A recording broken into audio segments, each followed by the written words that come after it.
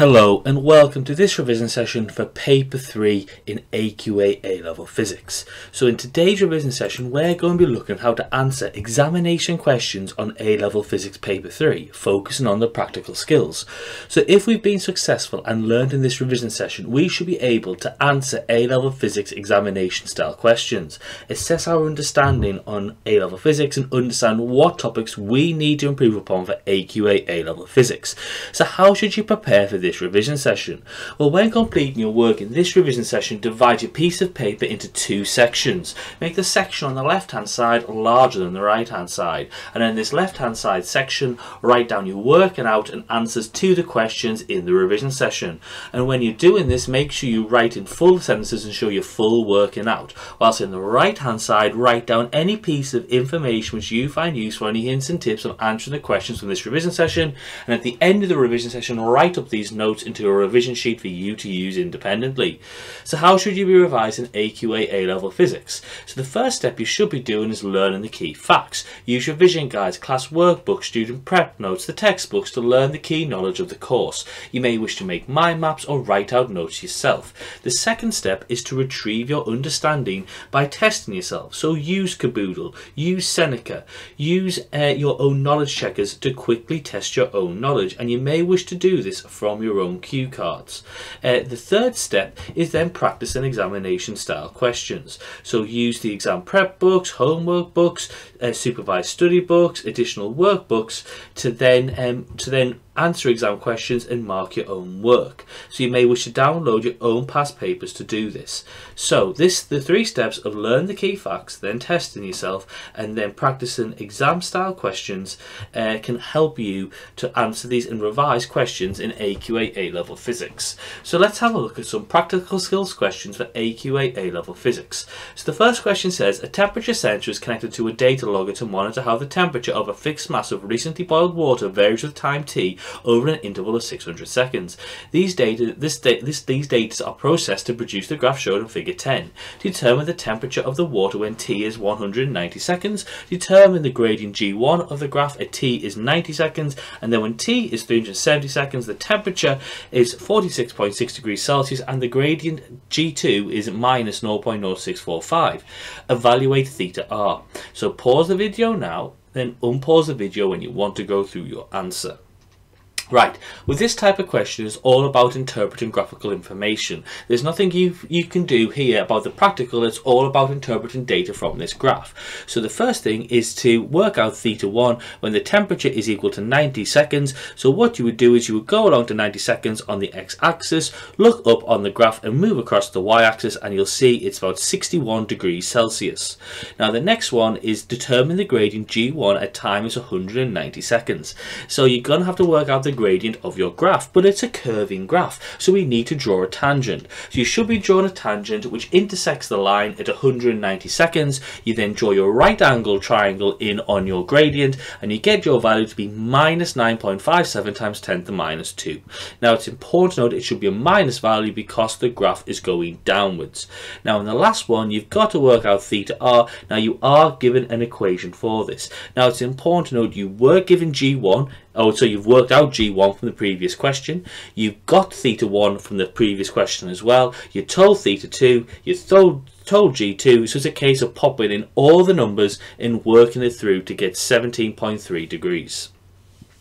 Now the next question says, it can be shown that when a hot object at temperature theta is allowed to cool in a draft, the rate at which the temperature decreases is directly proportional to the temperature difference between the object and the surroundings. A student realizes that this will decrease exponentially with time and designs an experiment in which two temperature sensors are connected to a data logger.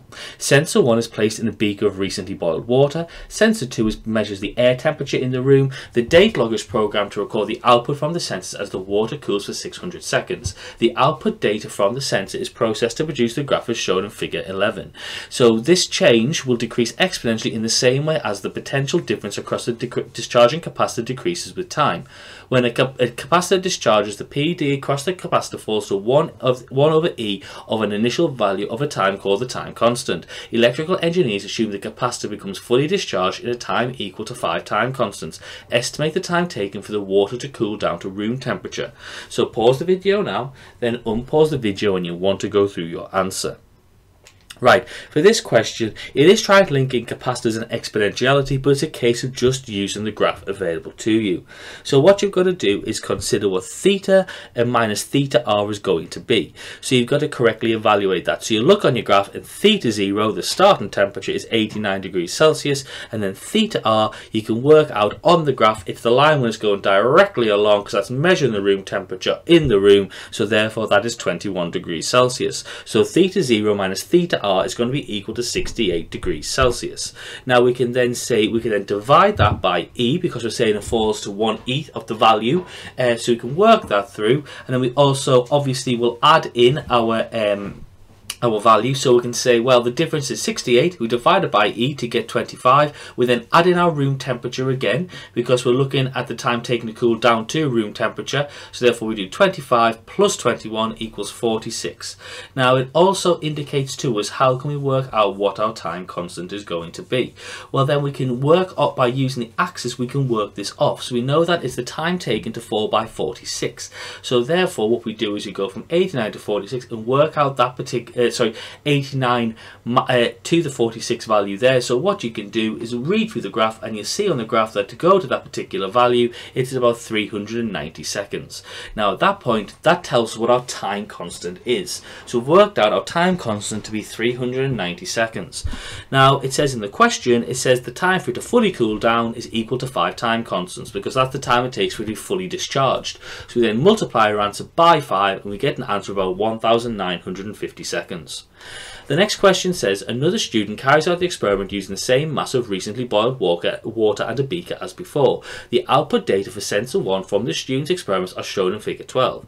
Account for the differences between these results and the way they are displayed with those shown in figure 11. You should include appropriate quantitative data in your answer. So pause the video now, then unpause the video when you want to go through your answer. Right, so how to answer this particular question? Well, it's looking at how it was different to our previous graph. So pretty much what you're doing is you're looking at the graph in the previous question and you're looking at this graph and you're going to just talk about the differences.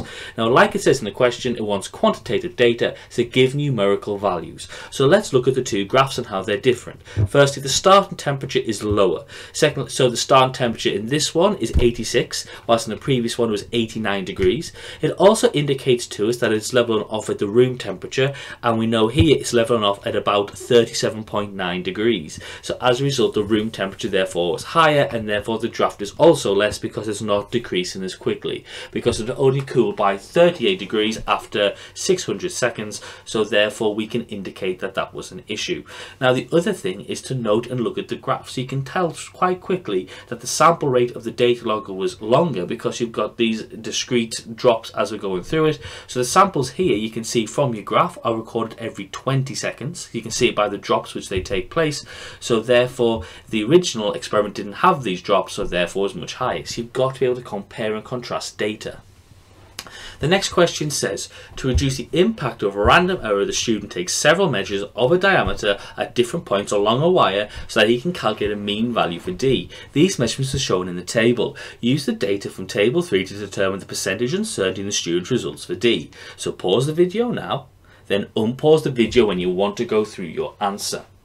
Right, to work out percentage uncertainty when you're given a set of repeats is you've got to firstly work out the mean value by adding up all the values and dividing by the number of values that you've got, but also bear in mind you exclude anomalies if there are any. I don't believe there are any in this experiment. So you work out your mean to be 0.57 millimeters. Now the uncertainty uh, and the absolute uncertainty for repeated values is going to be half of the range. So the range is the biggest number minus the smallest number, and you do half of that, and therefore to work out your percentage uncertainty, it's your absolute uncertainty, which is half of the range, divided by the mean, times by 100, which is 0.70%. The next question says, this question is about an experiment with a retractable steel tape measure. The tape measure is placed at the edge of the bench and about 1 metre of the steel tape is extended so it overhangs the bench. The tape is then locked in this position to stop it from retracting. A student measures the dimensions x and y and the horizontal vertical displacements of the free end of the tape are shown in figure 7. So describe a suitable procedure that the student could measure y and then by changing the extension of the tape the student obtains further values of x and y. Suggest why the student chose to make all measurements of x greater than 70 degrees, centi sorry 70 centimeters. So pause the video now, then unpause the video when you want to go through your answer. Right, for this question, you're just going to consider the information and think about how you can get a accurate value of y.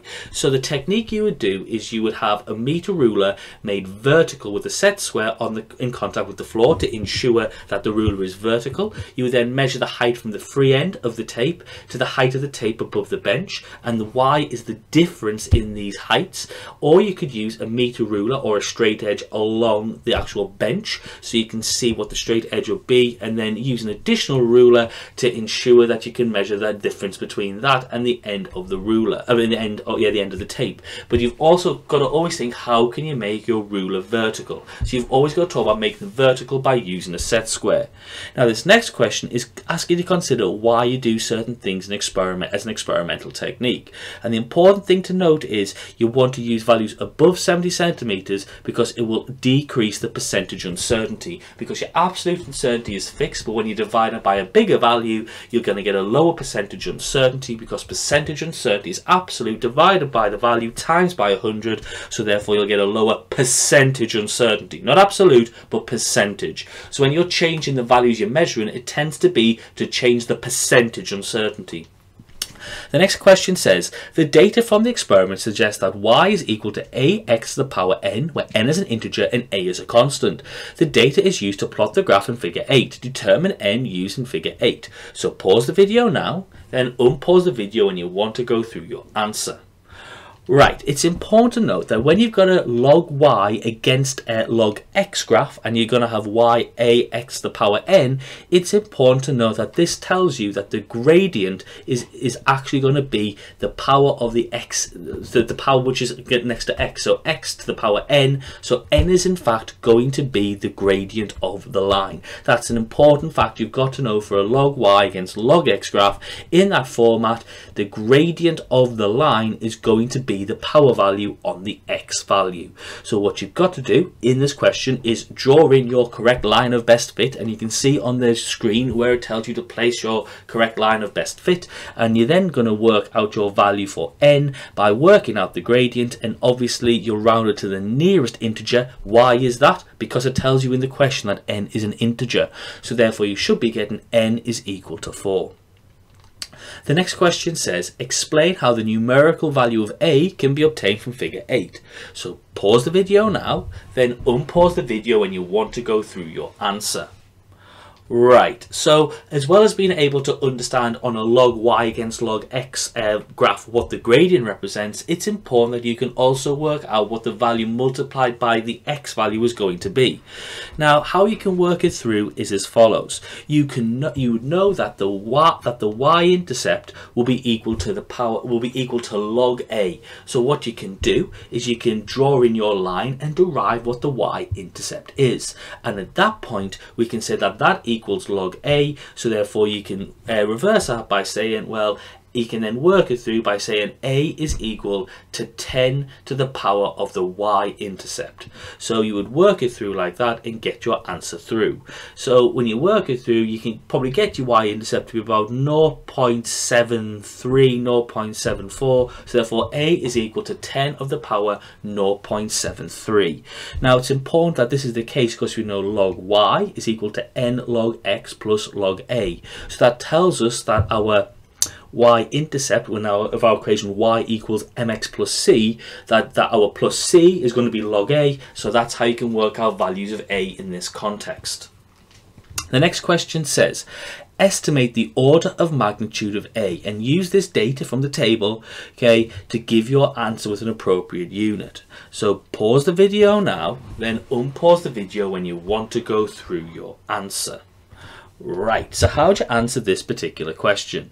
Well, we can work out that we said before that a that we say y is equal to a x to the power of n. So what we can do is we can then change this round to make a the subject. So a therefore is equal to y over x to the power of n. Now it's important to note that in the question we have previously worked out what n is. n is equal to 4. It's the gradient of the line. So what you can then then do is for all of the values, you can work it through by saying for any of the rows, you could just do uh, 61.2 over 132.4 to the power of 4 and work out your value like that. And then you can see from the graph they're all going to be to the magnitude of 10 to the minus 7. So the answer is going to be 10 to the minus 7. Now it's asking what the unit is going to be. Well, we've noticed that y is in centimetres and x is in centimetres. But it, it the the power of x that x is being is is multiplied to is to the power of 4 so we're actually saying it's centimeters over centimeters to the power of 4 so therefore when we work it through and cancel it through it's centimeters to the minus 3 and that's the units being given the next question says, this question is about an experiment uh, to estimate absolute zero. Figure A, for figure 9a to figure 9d shows the stages of the procedure carried out by a student. An empty flask fitted with a tube and an open valve is placed in water bath H containing hot water. The air inside the flask is allowed to come into thermal equilibrium with the water. The valve is then closed, trapping a certain volume of air as shown in 9a. The flask is inverted and placed in water bath C, in which the water is at room temperature. The air inside the flask is again allowed to come into thermal equilibrium with the water as shown in figure 9b. The valve is opened and some water enters the flask as shown in 9c. The depth of the inverted flask is adjusted to, until the water level inside the flask is the same level as the water in the water bath. The valve is then closed, trapping air and water inside the flask as shown in figure 9D. So estimate the volume of air in the flask in 9C and is less than the volume of the air in the flask in 9D. So pause the video now then unpause the video and you'll want to go through your answer. Right, so it's talking about, well, what's actually going on in this situation. Now, we're thinking about pressure uh, in this situation and temperature because we're linking it into the volume of a gas. So we can say that Y is the volume of air in, in C, less than the volume of air in D. Well, when you look at the situation and what's actually going on, you can see quite clearly that the pressure of the air in C is going to be greater than the pressure of the air in D, or you could argue the vice versa. And so therefore, because the temperature is the same, we know what Boyle's law is. PV equals a constant. So we can say that when pressure increases in one, volume decreases in another to keep the value constant, and so therefore that's why the volume will change. The next question says, explain why Charles's law can be applied to compare the air in the flask in 9a with the air in the flask in 9d. So pause the video now, then unpause the video when you want to go through your answer. Right, well this question is asking you just to basically understand what Charles's law is. So it's the idea that here the mass of the air in both of those beakers is going to be the same because they've not been adjusted and they've got the same pressure so therefore uh, uh, any suggestion that the temperature is constant, that the volume is constant, and that the pressure has therefore changed. So therefore, it's the idea that there's the same moles of gas there, the same amount of gas there. So therefore, you've got to understand that if the temperature is constant then the volume will be constant. The next question says the flask is removed from water bath C and then the valve and the stopper are removed. The volume of the flask is V1. The flask is then completely refilled with water and the valve and the stopper are replaced. The volume of water in the flask is now V2. The volumes V1 and V2 are shaded in parts figure 10. Explain how V1 and V2 can be determined. In your answer, identify the suitable measuring instrument and the suitable procedure to eliminate a possible systematic error. So pause the video now, then unpause the video when you want to go through your answer. Right, well in these types of questions it's always trying to work out what is being asked of you and fundamentally what they're asking you is how can you measure volume of water, of a liquid. So what would the method be? So you would probably use either a measuring cylinder or a graduated beaker. So what you would therefore do is you would get the liquid, you would then pour it into the measuring cylinder or the graduated beaker, it's on a flat surface and then you would then measure the level that the volume rises to with the the eye level with the bottom of the meniscus point in your water liquid. So this will be there to avoid parallax error because if you weren't looking directly parallel with the water level, well therefore you would have a parallax error. So it's important here, it looks a very challenging question, but all it's asking you to do is how do you work out volume of a liquid. So I hope you've enjoyed this particular revision session where we've looked at how we can answer A-level physics examination style questions for paper 3. We've assessed our understanding on A-level physics for paper 3 and understand what topics we need to improve upon for A-level physics. So thank you very much for watching this particular revision session on A-level physics paper 3. Thank you very much and have a lovely day.